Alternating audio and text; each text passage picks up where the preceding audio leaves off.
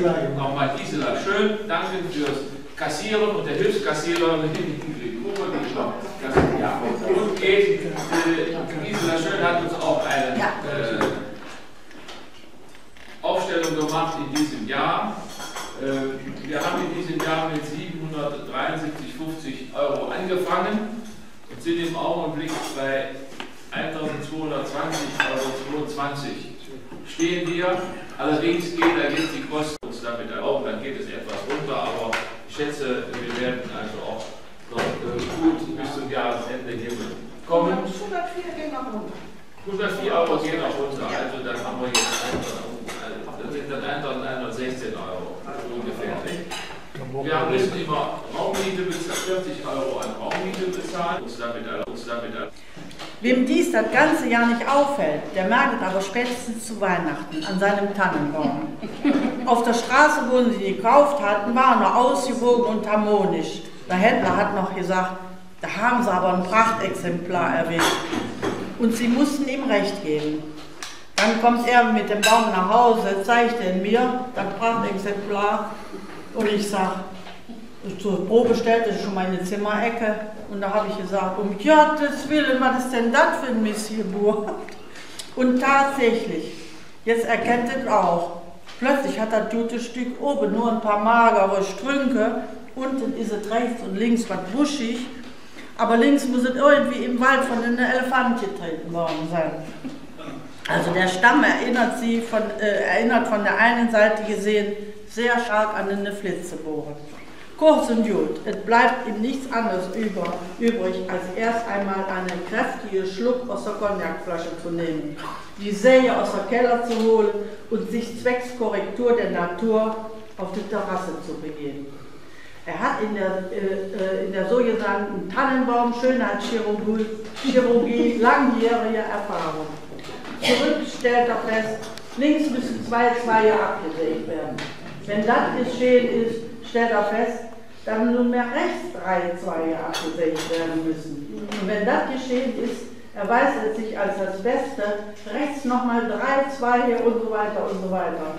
Hierdurch ist natürlich nicht auszuschließen, dass der Baum allmählich vorne und hinten erheblich zu voluminös wird, sodass auch hier gewisse Operationen erforderlich werden. Und kurz und gut, es kommt unweigerlich der Augenblick, wo er sich zur sogenannten Totalamputation entschließt. Das heißt, er entfernt auch noch die restlichen Zweige. Nun hat er den nackten Stamm in der Hand, während die Zweige kniehoch auf die gesamte Terrasse verteilt sind. Damit sind nun die Voraussetzungen ideal, um zu einem wirklich willkommenen Weihnachtsbaum zu gelangen.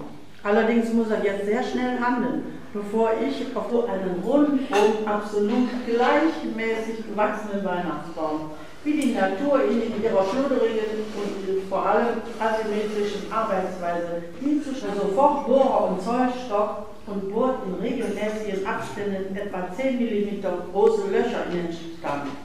In diese steckt er die schönsten der abgesägten Zweige und erhält, die zustande bringen könnte. Die Methode hat allerdings einen Haken. Wenn der Baum am ersten Weihnachtsbaum, äh, ersten Weihnachtstag bereits alle Nadeln verloren hat, hat er immer wieder sehr, äh, wieder sehr mühsam, erklärte mir, dass dies an, der, an den modernen Düngemethoden in der Forstwirtschaft liegt und an der Umweltverschmutzung und so weiter. Ich sage bei anderen, halten die Bäume aber länger, wozu der er nur sagen kann, eines gibt es eben nur, entweder idealen Wuchs oder hässliche Haltbarkeit.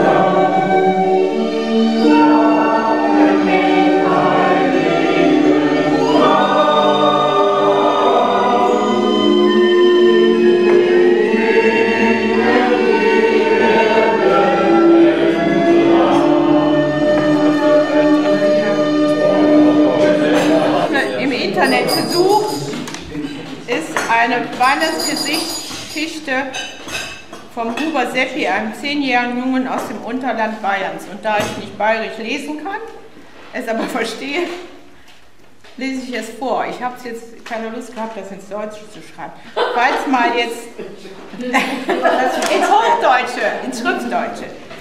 Aber weil, wenn man äh, ja, die Grammatik nicht ganz so richtig ist, dann äh, liegt das ja dran, weil ich nicht sofort weiß. Aber macht nichts, ich kann so lesen. Der Advent ist die schönste Zeit im Winter. Die meisten Leute haben im Winter eine Grippe. Die ist mit Fieber. Wir haben auch eine, die ist mit Beleuchtung und man schreibt sie mit K. Drei Wochen bevor das Christkind kommt, stellt der Papa die Krippe im Wohnzimmer auf und meine kleine Schwester und ich dürfen mithelfen. Krippen seien langweilig, aber die unseren nicht, weil wir mordstolle Figuren darin haben. Einmal habe ich Josef und das Christkind auf den Ofen gestellt, dass sie es schön warm haben. Und das war ihnen aber zu heiß. Das Christkind ist schwarz, gewor schwarz geworden und Josef hat es in lauter Trümmer zerrissen. Der Fuß von ihm ist bis zur Platz, bis zur Zimmerdecke geflogen und das war kein schöner Anblick. Meine Mutter hat geschimpft und gesagt, dass noch nicht einmal die Heiligen vor meiner Blödheit sicher sind. Wenn die Maria ohne Mann und Kind herumsteht, da schaut das nicht gut aus. Aber ich habe Gott sei Dank äh, viele Figuren in meiner Spielkiste. Und der Josef ist jetzt der Donald Duck. Das Christkind, für das Christkind wollte ich Asterix nehmen, weil der so klein ist, dass er in den Futtertrug passt. Aber da hat Mutter gesagt, man kann doch fürs Christkind keinen Asterix hernehmen. Da ist das verbrannte Christkind besser. Es ist zwar schwarz, aber immerhin noch ein Christkind. Hinterm Christkind stehen zwei Ochsen, ein Esel, ein Nilpferd und ein Brontosaurier. Das, das Nilpferd und den Saurier habe ich hingestellt, weil der Ochs und der Esel waren mir zu langweilig. Links neben dem Stall kommen gerade die heiligen drei Könige daher. Ein König ist Papa im letzten Advent beim Putzen hingefallen und er war total hin. Jetzt haben wir nur zwei heilige drei Könige und, und einen heiligen Bettmann als Ersatz. Batman. Batman. Normal haben die heiligen Könige einen Haufen Zeug fürs Christkind dabei, nämlich Gold, Weihrauch und Püree oder so. Von den unseren hat einer statt Gold ein Kaugummipapier dabei, das glänzt so schön. Der andere hat Marlboro in der Hand, weil wir kein Weihrauch haben. Aber die Marlboro raucht auch schön, wenn man sie anzündet. Der heilige Batman hat eine Pistole dabei. Das ist zwar kein Geschenk für ein Christkind, aber er kann es damit vor den Sauriern beschützen. Hinter den Heiligen sind noch ein paar rothäutige Indianer und ein äh, weißer Engel. Dem Engel ist ein Fuß abgebrochen. Darum habe ich es aufs Motorrad gesetzt, dass es sich leichter tut. Mit dem Motorrad kann er fahren, wenn er gerade nicht fliegt. Rechts neben dem Stall haben wir ein Rotkäppchen hingestellt. Sie hat eine Pizza und drei Weißbier für die Oma dabei. Aber einen Wolf haben wir nicht. Mehr steht in unserer Gruppe nicht drin, aber das reicht auch. Zur Nacht schalten wir das Licht an und dann ist unsere Krippe erst so richtig schön. Wir sitzen alle da und singen Lieder vom Advent. Manche gefallen mir, aber die meisten sind ziemlich langweilig. Mein Opa hat mich ein Adventgedicht gelehrt. Das geht so.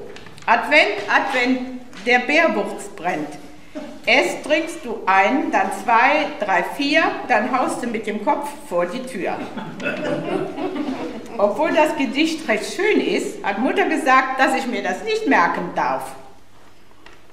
Bis ehe man sich umschaut, ist der Advent vorbei und Weihnachten ist und Weihnachten auch und das Jahr geht dahin. Die Geschenke sind ausgepackt und man kriegt vor Ostern nichts mehr, höchstens am Geburtstag. Aber eins ist gewiss, der Advent kommt alle Jahre wieder.